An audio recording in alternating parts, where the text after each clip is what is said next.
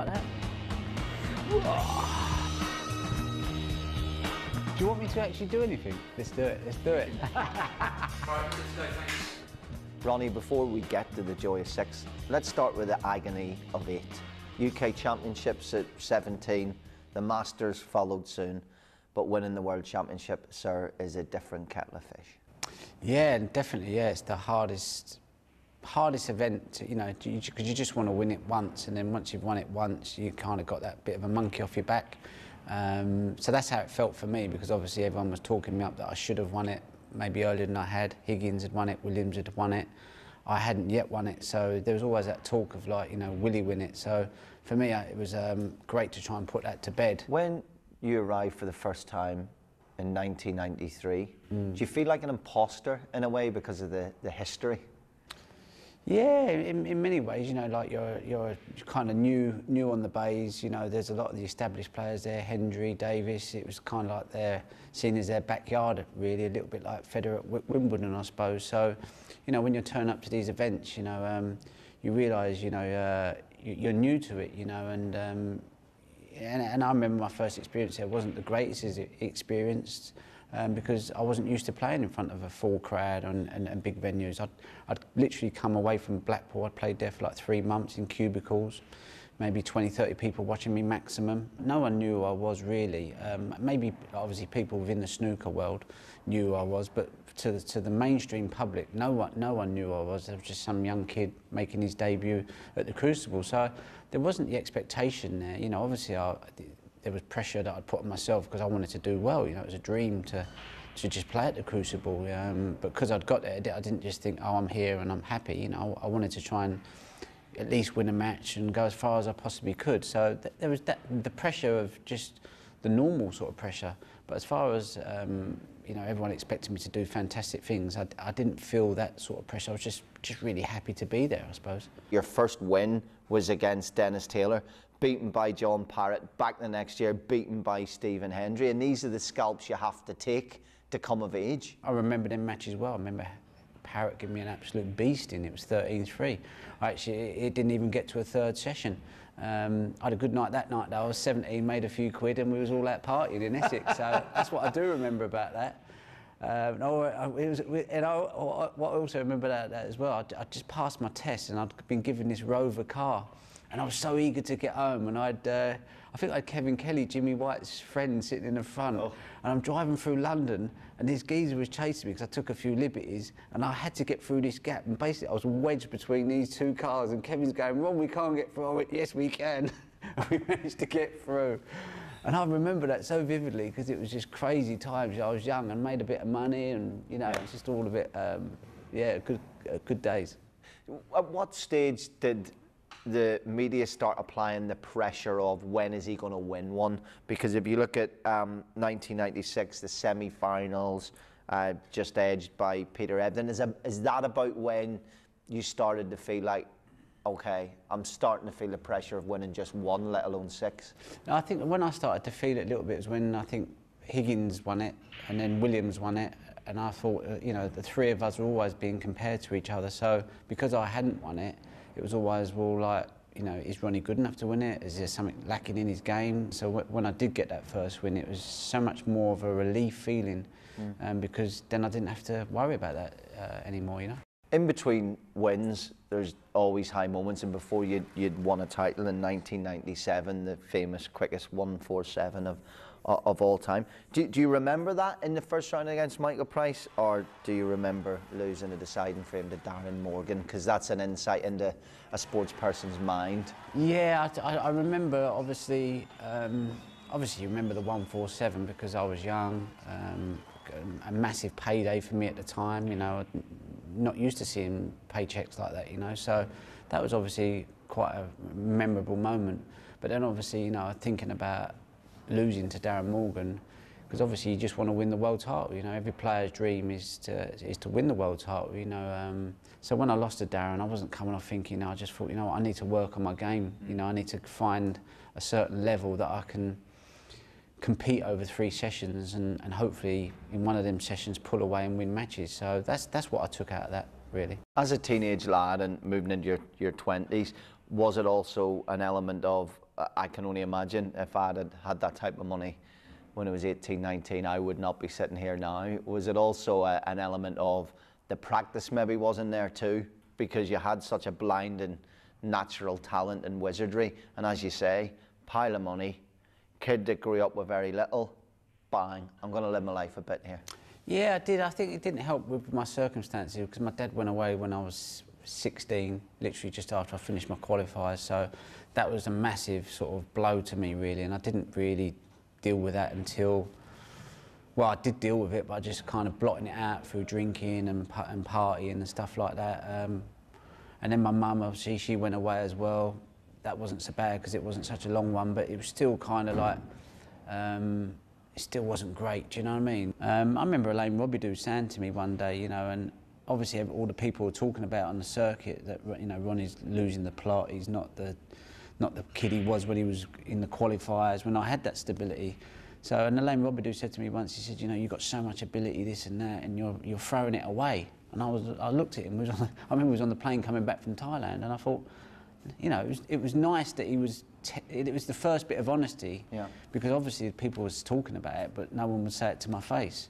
And I thought about it, and I, and I remember them words now, and I just think, you know, um, he was right, you know, um, I, I wasn't doing myself any favours. Um, but it, I didn't know any other way through it in, in many ways. So it's like I had to go through that to then go, I hit a dead end mm. and thought, you know, I need to address it. So for me, you know, once, um, once I was stopping the drinking and, and I was able to, you know, keep fit, early nights, eat well, and just focus on playing snooker, you know, I was making sure that I had what I needed to, to be competitive, you know. Mm. And then it happened in, in 2001. Hicks, Harold, Ebdon, mm. Swail no close calls getting to the final. Probably as, as good as you could picture it to make it the final over what is a marathon? Yeah, when, when you look back at it, you know, you think that it sounds like a really, really nice draw. At the time, Joe Swail was a, a very, very talented, good player. Ebdon was always a tough player to beat. Hicks was always a danger man. Um, so yeah, you know, a lot of them names, they don't sound like you'd think, you know, compared to today's players, but in, in, that, in that time, it was still... Um, tough players, yeah. But I remember getting through that, and uh, you know, I remember as well that tournament. I was I was struggling mentally um, with with my my depression. I call it snooker depression, and I think like because I didn't have the drink and mm. to mask all that sort of stuff, I was doing it clean. I, I started getting panic attacks and anxieties, and that's when I went on uh, antidepressants. Mm. Uh, just after my first round match because I just couldn't deal with it and that kind of settled me down a bit and I was able to at least enjoy the tournament without no panic attacks. So that would have been in the, you know, before the first session, antidepressant. It, did you time it based on these long sessions, or no, how, how, does that work? I'm no, a bit ignorant with that. No, I was speaking so. to my doctor about a week before, it might have been two weeks before Sheffield, and he said, you know, want you to try these tablets, and I went, no, no, and I didn't, I didn't want to try them, you know, because because I, I was in rehab. They said like anything that's mind mood altering, don't have and they're like, you, you know, so there was anti sort of any sort of medication. So, mm. and I'd got clean. I thought I got to, I got to play by the rules really. Um, but I got to such a point where I was so desperate, you know. So um, I refused to take them until I got during the World Championships, and then I was there, and I just felt so bad, you know. Um, mm. I was doing a, a, radio interview, and I was asked, talking to the girl and the fellow on there, and I just cracked up and I said, look, I'm really struggling here. I said, I don't even feel like I can actually get the words out that I need to say. I said, I feel like I'm having like a panic attack, an anxiety attack. And they just went, look, we're really sorry, we'll cut the interview short. And, and that was nice of them. And, mm. and I phoned the Samaritans up that afternoon because I thought, you know, I'd already won like five tournaments that year and I just couldn't shift this anxiety. And I remember playing Ebdon in, in a session and dizziness come on me, but I was like 12, 4 up or 12, 5 up but I, I just thought I'm, I'm not going to be able to get over the line here because I just mm. felt so out of control.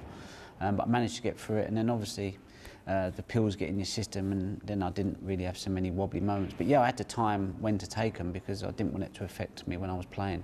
Snooker wise, what do you remember from the Higgins final? Key moments for that was the first session. I went 6 2 up and thinking, well, I've got a nice lead here, but still early days because I know how good Higgins is. And then the other point I remember was when I was 17, 13 up and I, I missed a really easy red in the middle.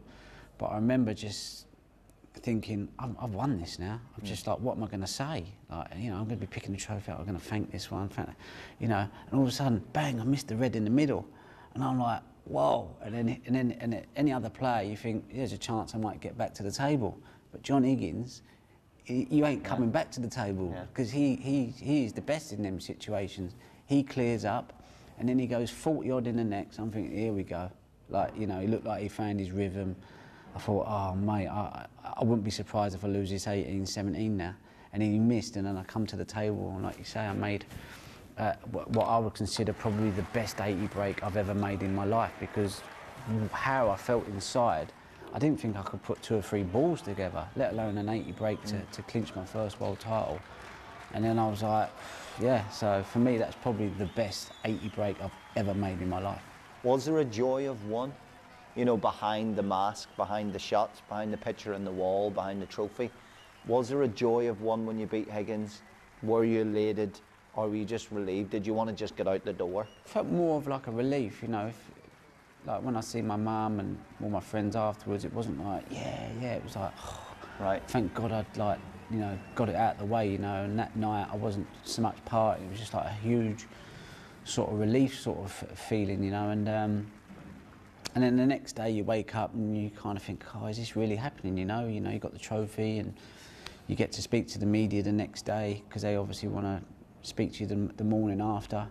And then it kind of like settles in. You go, oh, and, then, and then that following week, it's just like you're on a bit of a high and you're sitting there and you can't quite believe that you're you're actually a world champion. So you know, it was nice and. Um, and like you said, I just think it just settled me down and I was able to just focus on, on playing snooker. I say it's a bit like when you see a nice car, the person who's driving it doesn't actually get to see the car because he's driving it. I think it's more joy for the people outside looking at it going, oh, that's a nice car. You can actually see the shape. You don't know what I was going through Right. in that tournament. You know, it was like, you know, one minute I'm like, I can't win this. I'm like texting my friends, it's over. And they're like, no, no, you can do this. I went, no, I'm done. I can't. I'm not playing well enough. This ain't, you know. And they're like, you can do it. And then like eight hours later, wow, that was epic. You, you just go through so many different sort of Yeah. shifts.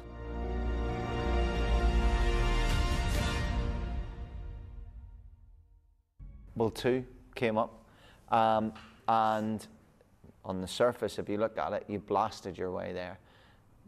Quarter final, session to spur. Semi final, session to spur. Yeah. Um, did, it, did it feel that easy, or what was the what was the overall uh, 360 picture of Um, I, th- 2004? I think that's the first year that I've worked with Reardon. And I remember I was playing Andy Hicks and uh, I had my first phone call with Ray Reardon. And um, I said, if I get through this match, will you, will you like come down and work with me, you know? He said, yep. He said, no problem, I'll be down. He said, just keep your head on tonight. And the first thing he said to me, he went, Andy Hicks ain't scared of you, you know? He said, keep it tight, keep it tight, going there. And I was like, he ain't scared of me. And I, not that I expected him to be scared of me, but to have someone like Ray Reardon, he was marking my card. Don't think that this is a given. Don't think Andy Hicks is going to bottle it against you. You know, you've got to go out there and win this. And I went, and I went out there, and I remember I was so focused. And, and the start of the match didn't go great, or, or that final session. But because I had the, my match head on, I managed to work my way into the game, and I won that. And I definitely don't feel like I was potting as fearlessly as I was, but that safety game just just made me like what Reardon says. He says, "I'm going to make you impregnable." And I went, "What does that mean?" He went, "Well, no, no weaknesses. No one can get to you." I was like, "Okay." So um, I had to, you know, I, to- I was, he was the master, and I was just the guy trying to learn from from Ray. So I had to, I had to do what he said because he, he was right, you know. He wouldn't talk about technical stuff at all.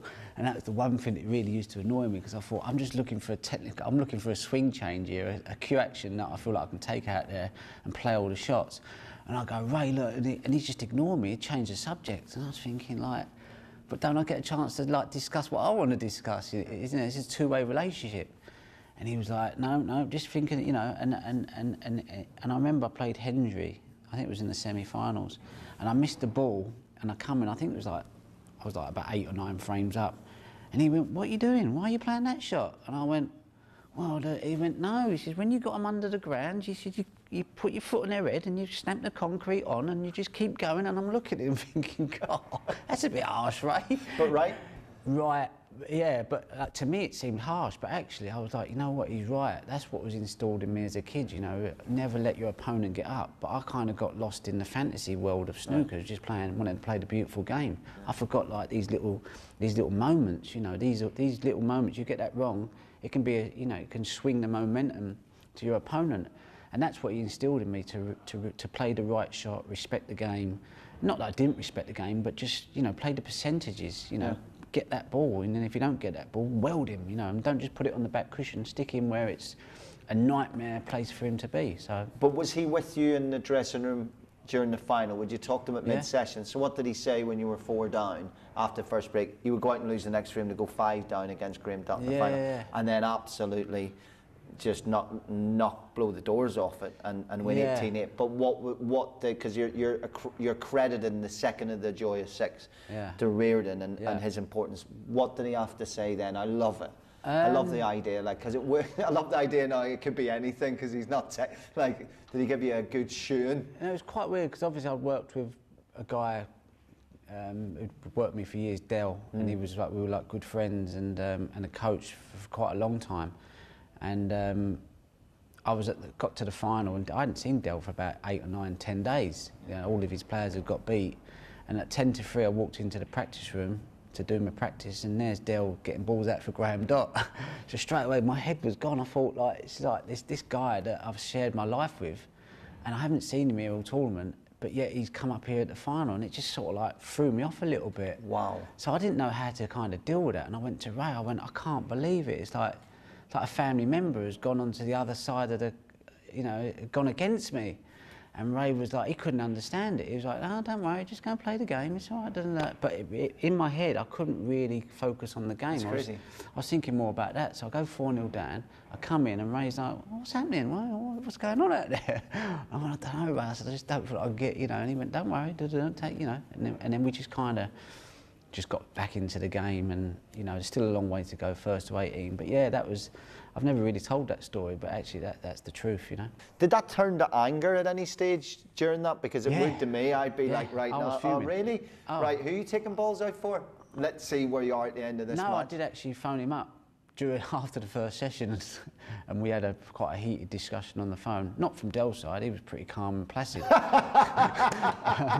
I really like said what I what I felt I had to say, and I regret some of the things that I said. But at the time, I really felt it, you know. And um, and actually, as I'm talking to him, I could see him pacing around the car park. I was in my room and I could see him down there, but I didn't let him know I could see him and uh, yeah, it was just one of them things. And you know, we didn't speak for a long time. And and then I, I think about four or five months ago, I, I phoned him up. I said, "Hello, Del, how you going?" I, I, pretended to be some Russian dude that wanted some coaching lessons. And he was like, "Yeah, yeah, it's done." I said, "It's me, Ronnie." And he went, "Oh, how are you?" So. Um, yeah, and he sent me a text, good luck before the World Championship. So, you know, it was just one of them moments, you know. Yeah, time heals. Yeah. And like you said, you know, I credit Ray with a second, but I credit him with a third, fourth, fifth and sixth, as I think he changed me as a player. Uh, 2007, that was the doozy because you claimed the draw was fixed and then had to apologise for it after. Did I? Yeah, exactly. Right, exactly. Did I? Because you, you got Ding again and oh, they yeah, said, yeah, "Who do you think's going to win the World Snooker?" And you said the bookmakers, which is literally like as big a clanger. Is it? oh yeah, right. Okay, that's a proper kind amongst the pigeon. But that's part and parcel, isn't it? Yeah. That's, I, yeah. You know, it's what you get. Yeah. It's kind of what you get with Ronnie O'Sullivan. You, you do, not know. I think what it is, I thrive on a drama. I think if I set my, if I if I've done something and I think, oh, I put my foot in it here, I think, oh, right, that's a real good G for me to go and play better snooker. And sometimes I feel like I need to create some sort of enemy, yeah. if you like, you know, right. whether that's world snooker, whether that's another player, whether that's whatever it is. It's sort of like I kind of go, okay, that's sort of that's my, that's my cue to get my head in gear. Forget about the cue action. Forget about whatever. I've got to win this now. Yeah. this yeah. is just this is about me putting everything on the line and getting the job done. Um, and it's worked. You know, I just think I'm one of them people that thrives on on something. You know, something going wrong in my life. You know, it's like I, I, I love to sort of try and turn it around, if you like, and make a, a not such a good situation into a fantastic outcome. Prove people wrong. In a way, I suppose, yeah. And I think I've just done that all my life, you know. Um, even as a youngster, even at school, you know, if someone said you can't do that, I'd be like, all right, brilliant, love, I love hearing I can't do something. That's like, that's the best thing to say to me, you know. So I like it when a few players have said certain things in the past, and I thought, oh, beautiful. I've won so many tournaments off the back of even commentators. There was a certain commentator, it was a friend of mine. He said, "Oh, I think you know Ronnie's the top boy, but."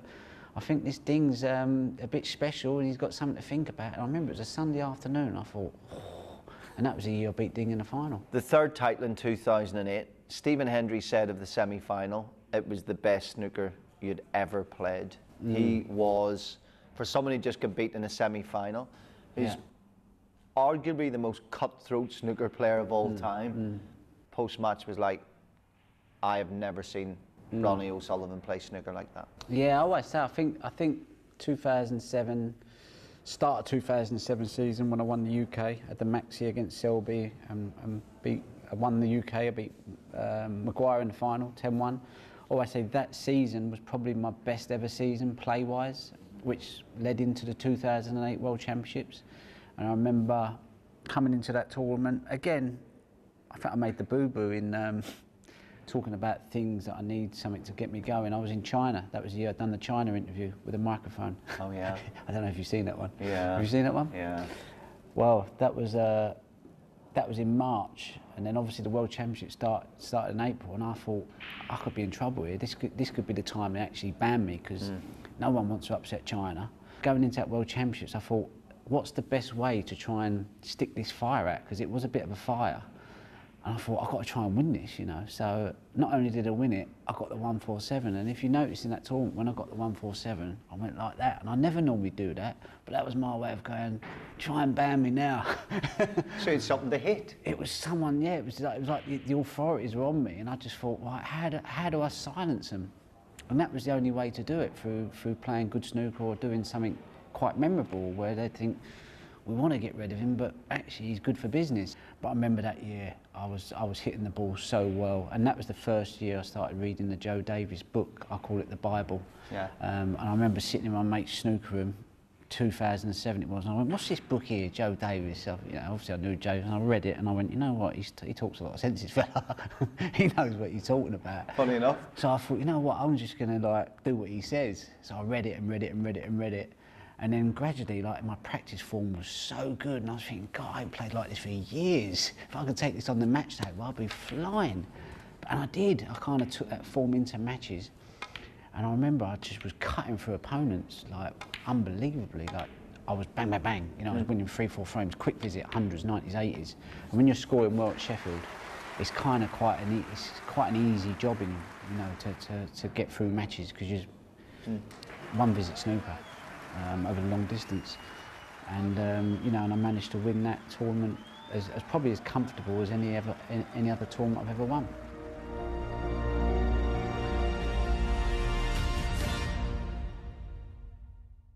Twenty eleven, even though the, as I say, quarterfinals again. John Higgins beat you 13-10. Yeah. This is when Steve Peters came into to Ronnie O'Sullivan's world and, yeah. and has been there ever since. Yeah, definitely. Yeah, that was the first time I remember uh, the two previous years I was struggling with, with stuff off the table. I think I went six tournaments without actually winning a match. So I remember coming to 2011 thinking I probably had, had enough of playing, you know. I thought at the end of my career, mid-30s, no one really won anything. Um, but then I tried, obviously, working with Steve Peters. I thought always, always worth one more throw of the dice. You never know. Always keep an open mind. And this guy obviously come with a lot of pedigree. Um, and for the first 15 minutes, I was like closed. I thought, I, I actually don't want him to help me. I don't mm. want him to kind of give me any hope in a way. Um, so I was kind of a bit closed, and then all of a sudden, after about 15 minutes, I thought, oh, this geezer's, this geezer's, he's super intelligent, you know. I thought this geezer's, oh, even if he, even if he can't help me with snooker, I'd love to come and see him once a week and talk to him for an hour because yeah. he's fascinating. You know what I mean? I'm like, who is this fella? First thing he said to me is, "I'm not going to tell you to be positive." He said, "Because that's a waste of time." And I went, yeah. I was like, "Wow, brilliant." right, where, yeah, where, where do we go from there then? You know, like if you're not telling me to be positive, like what? There must be some sort of secret you've got here that you kind of works. And he kind of like when I started, and, and the great thing was, I would talk to him for an hour and I'd soak it all up and I'd put my microphone on just in case I forgot what he says and I'd write loads of notes. And he said right come back. And he said write the questions down. And, and he, he always tells the story. He said Ronnie come back. He said and he got this big notepad and there was like 20 or 30 questions. And I just soaked it all up and I knew that this worked for me you know every time I apply what he says it, it actually it's, it's the best mental thing I've ever done in my life When you beat Ali Carter again in the final, this to win your four of six, 18 11. At 36, you were 55 days older than Dennis Taylor when he won in, in 1985. So the oldest world champion since the man himself, Ray Reardon, in 1978. Statistically, you were being backed up. And I- I wonder, even to now, do you fear being the over the hill snooker player? The guy who can't win anymore and can't give up playing, right? Because I think that must be your idea of hell. Yeah, yeah, absolutely. Yeah, yeah. No, I definitely wouldn't. I, I, I honestly don't think I could accept sort of playing and putting that effort in and not getting, you know, um, not have, at least having a chance of win tournaments. So, yeah, you, you're always looking for for that sign as a sportsman because no one wants to to go on any longer than they really should do in, in many ways. That was probably my the best I'd ever played from start to finish in the World Championships, without a doubt. You know, I felt like I was striking the ball. Um, my correction was absolutely online, bang on point. You know, um, the, even the ball was making a different sound when it hit the back of the pocket. You know, so many clean shots going in, and that just builds so much confidence within you. And there, there was a one moment during the, in that World Championships where I thought, oh, this might not be going well against Neil Robertson. I think I was five three down after the first session, but I recovered really well and ended up playing some fantastic snooker um, in that match and beat Neil. I don't know, it was 13-9 maybe. So um, yeah, that for me, that is as a, as a player and for someone that you know gets great joy out of striking the ball well. For me, that is definitely the best and most enjoyable World Championships that I've I've ever had. You know.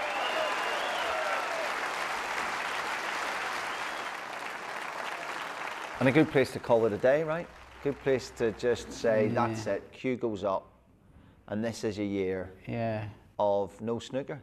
Mm, yeah. You look yeah. through your record, it's all blank, it's all blank, Yeah, it's all blank, and then you defend successfully your world title.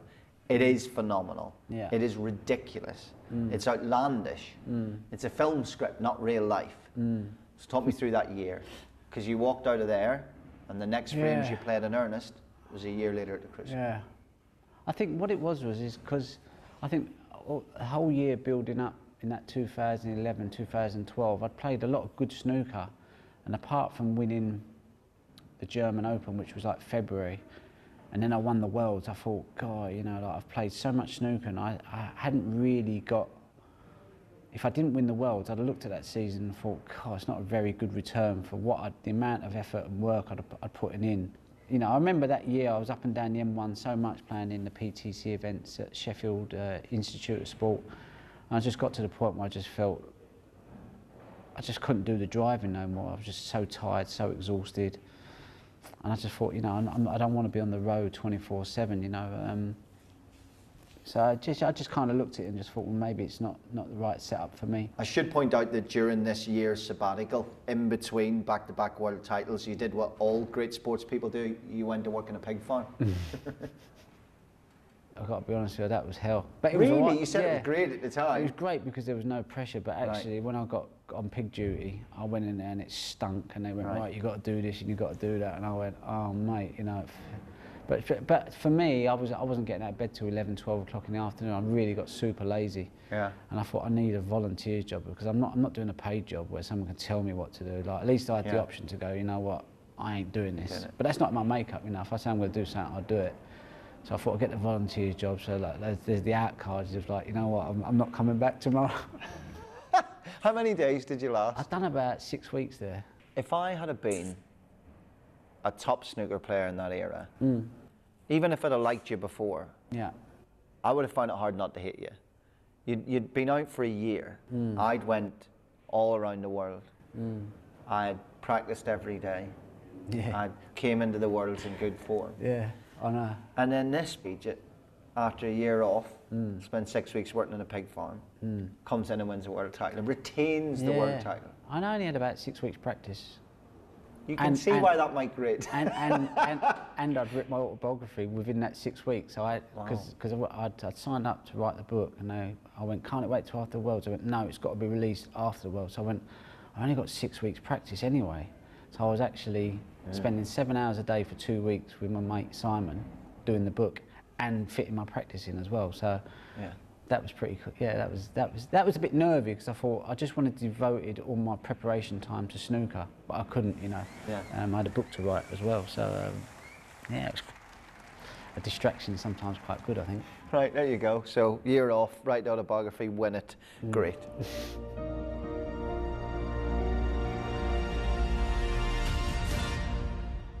Going to this year's World Championships, it didn't feel like the circus. You know, it was so quiet, so you know, it was just a pleasure to be at, at Sheffield. So there was a part of me that thought I want to hang around here a little bit longer. You know, even if, even if there's no cue action um, for like 80% of the time of the matches that I played, I still enjoyed just sort of going to the, the coffee shops, eating at the restaurants, you know, relaxing in the hotel, which was like a two-minute walk from the venue.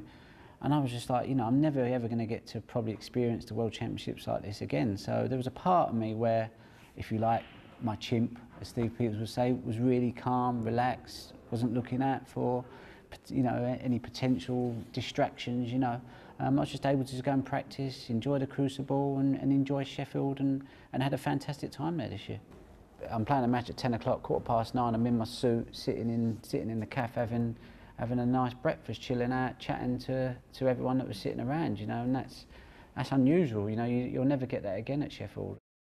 In your first round game, 10 1 over Thepchaiya Un-Nooh, 41 minutes faster than the previous fastest ever game at the Crucible. That was brutally brief from Ronnie O'Sullivan.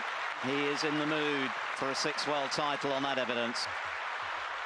41 minutes mm. to knock that off a record mm. is Ben Johnson drug test ter- territory, isn't it? That's, that's crazy.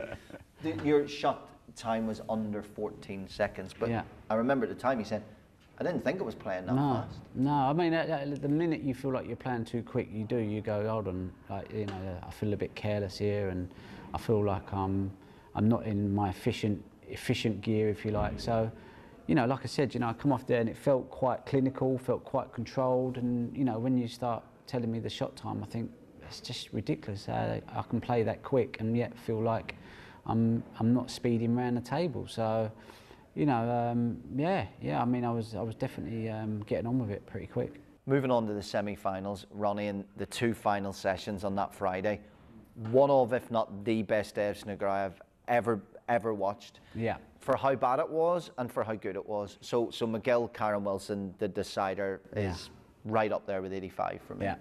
And it was almost like you and Selby were in the dressing room watching that, and you both went, "Hold my beer," and uh, out you came. And we we had this period where the commentators are saying, "He's given up the game.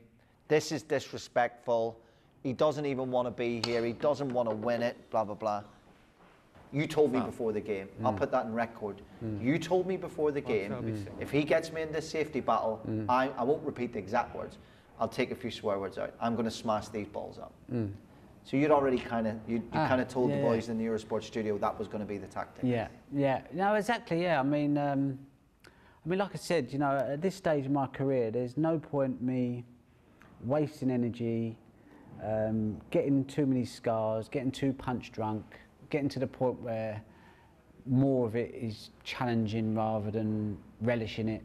So for me, it's about keeping the game on my terms. And that semi-final was absolutely no, no different. Through that whole match, you know, uh, you get a sense of, like, am I, uh, do I deserve to win this match? And I think at 13 all, I remember putting my cue down, going to the toilet thinking, I've made the score respectable. If I lose 17-13 there, no one's going to say, oh, he got slaughtered. It's hard to know where to pick the comebacks up because the 13-9 to 13 all was phenomenal because Yeah. it was two frames at the end of a session and Yeah. two frames at the start. So that takes a whole different mind. Yeah. But it's the two breaks, the 138 and the Yeah. 71, when he mm. needs one frame, Yeah. and it's 16-14. Yeah. phenomenal. My hair was standing up on end watching that. Mm. It mm. was, but I, I don't think you lived it the way we lived it watching it. Mm. When it got to 16-14, I thought I'm not going to fudge my way over the line, so I need to find three quick frames, big breaks, go for my shots. And yeah, I took on probably a couple of shots that maybe earlier in the match I wouldn't have taken. But at this moment in time, it was like if they go in, it, it could kickstart me onto much better things.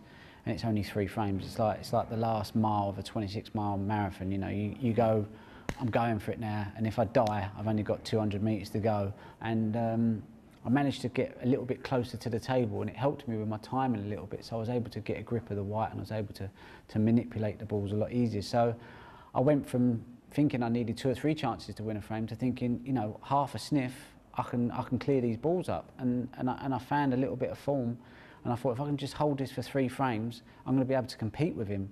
And you know, um, even if it was safety battles, I thought, you know, I've got, I've got, I've got, I've got good, good feeling on the white ball at the moment. And um, like you say, the one for eight was a, was a great break, you know, um, hardly put a foot wrong.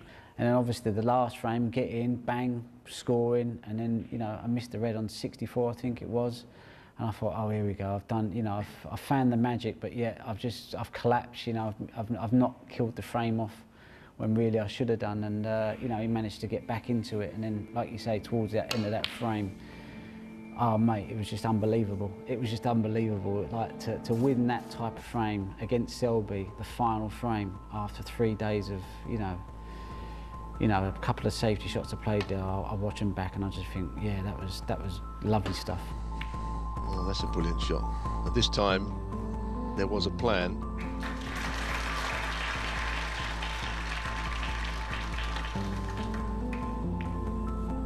Oh, he's caught the jaw. Goodness me. He only needs the red. He's got the red. Ronnie O'Sullivan has come back from the brink, 16-14 down. He's won three on the bounce in the most sensational fashion. The first session in the final, you've raced out a 6-2 lead against Kyren Wilson, who's made his first World Final. Mm. Even at that stage, the likes of Stephen Hendry was saying, I, I, tend to think this is over. Jimmy White was saying that it's a long way to come back. Mm. E even in the final, did did you get a feeling at that stage this title's mine? Um, no, not really, because I think if, if, the form that I'd shown in 2012 and 2013, I'd have probably deep down gone, yeah, that's a, that's a, that's a really good lead. I'm playing very, very well. I don't see how he's going to be able to dominate me in all th the next three sessions. If anything, I'm going to pull away even more. That would have been my, my natural feeling. But this year, obviously, like I said, you know, and I've alluded to it before, what didn't feel like I was striking the ball or, or hitting enough solid shots to have that confidence that I was able to withhold any sort of storm. So, like you see in the second session, he kind of come out playing well, and I just didn't feel like I could match him. But I, I managed to, to, to come out that session 5-4. How I managed to get four frames out of that session, I really, really don't know. The third session was just mm. wipe out snooker. Yeah. Just talk me mm. through that from your point of view. Because this game can be the worst in the world when it's yeah. not clicking. Yeah. And you said it can feel like the easiest game yeah. when it does. Yeah. For that moment on the biggest stage yeah. in the world, yeah. did that feel at that moment like, oh, this, this is my Yeah, I must admit, uh, I think that final was won probably 10 o'clock in the morning on the practice table at the Crucible. I found, I changed my grip, it, it changed my timing, I was hitting solid shots. Um, I was able to play blind, blind shots well, so where you're potting a ball and you can't see the pocket, they were going in the middle, and I just thought, lovely. That I, I'm now going to take that into the world final. Uh, on the final day, I've got a bit of a cue action, no matter what he throws at me, at some point he's going to make a mistake. I'm confident that I'm going to be able to, to win the frame in one visit and build momentum from there. You said that you've made speeches in your head before the finish yeah, line yeah. and you went, I'll never do that again. Yeah, never, yeah. When you're going into the evening, you know you only got a one, one frame. Yeah. It's done in 11 minutes, but like, what are, you, what are you thinking going out? Is there a little bit of like, oh, this is a bit awkward? Uh, no, because you always want to just get the match over and done with as quickly as you can. You know, if it happens to go the, uh, the distance, you know, so be it. But from 17, 8, I think it was, there was, I, I knew there was virtually no chance of me losing the game. Even if I'd have had a terrible session, I still fancied, you know, um, yeah, at some point it was over. But uh, no, I was over, over, over the moon to, to win it so convincingly in the end, you know. The unique, the unconventional, the irrepressible, the brilliant. Ronnie O'Sullivan stands once again on top of the snooker world. This colossus of the Green Baize has conquered the crucible for a sixth time. You know, to enjoy being at the event without the circus was great, and then obviously at the end, the final, you know, it was an early night, which was fantastic. We was all able to go back to the hotel and have our own little party, and and you know, it was probably one of the funniest nights I've ever had. You know, a few close friends come up, and you know, we just really, yeah, it was probably the best after by a mile was the best celebrations afterwards. You know, I've, I've never laughed so much. So how, as you lift your sixth title, hmm. do, you, do you put it into perspective? The first one was just like massive relief, and if I never win it again, who cares? Um, the next few was about you know trying to, you know, build your CV and trying to get as many world titles as you can to kind of say, well, you know, I'm up there with the with the with the greats. Um, and I think four and five made me feel like I'd put myself in the Davis, Hendry, John Higgins sort of category. Absolutely. And I think the sixth one was more enjoyable in many ways than all of them, if you like. Um, not because of the way I played, but just because there was no pressure on me. So I was actually able to enjoy this tournament probably more than any others, just- just because I didn't feel like anyone expected me to go all the way this time. Whereas in previous years, there's always been that, you know, it's, Ronnie's to lose, if you know what I mean. Final question. In 20 years from now, kids mm. playing snooker, Yeah. like your Joe Davis book, mm. and the dad goes, Watch this documentary. Mm. That'll show you how Ronnie O'Sullivan, the genius, won six world titles. Or will he say to his Yeah. son, Don't watch that, watch the follow up, Seventh Heaven? What's most likely? two or three people that I trust a lot that went, it wouldn't surprise me if you win it next year. And I'm thinking, they, ne- they, no one said that for four or five years. Right. And I'm thinking, do they know something I don't know? And again, they can sit, they got a different view of it to what you have. I'm, I'm, I'm overly excited to have won the six and never thought there'd be another one since 2014 because I hadn't really devoted my life to wanting to win one. It was more about enjoying the game. But um, you know, I'm, I'm, I'm, you know, now I've got a practice facility. Um, who knows? You know, I might be. If I don't win it next year, I don't think I'll win it again. Put it that way. Wow. Thank you very much. Thank you. Cheers, Colin.